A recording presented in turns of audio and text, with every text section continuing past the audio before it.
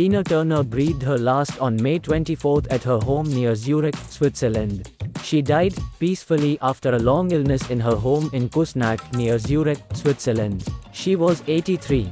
She was simply the best. We don't need another hero. And what's love got to with it? For a certain generation, she will always be the acid queen, a sobriquet she earned for her role in Ken Russell's 1975 rock opera Tommy. She played an erratic prostitute dealing in LSD. She sang the soundtrack version of the Pete Townshend song. Born as Anna Mae Bullock in Tennessee, Turner initially sang in her church choir as a child. She began her music career after witnessing Ike Turner's performances in local clubs and eventually became one of the backing singers for his group, the Kings of Rhythm.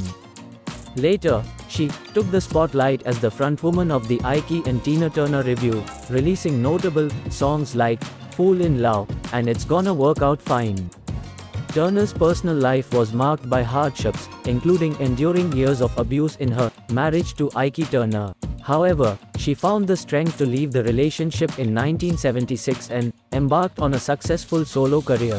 Her cover of Al Green's Let's Stay Together and the release of her album Private Dancer in the 1980s catapulted her to even greater fame. Throughout her career, Turner achieved numerous milestones.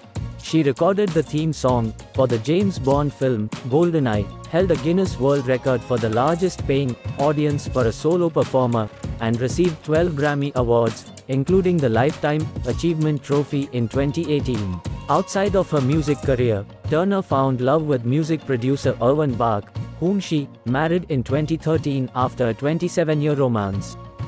She also faced personal tragedies, including the loss of her eldest son Craig to suicide in 2018 and the passing of her youngest son, Ronnie, last year.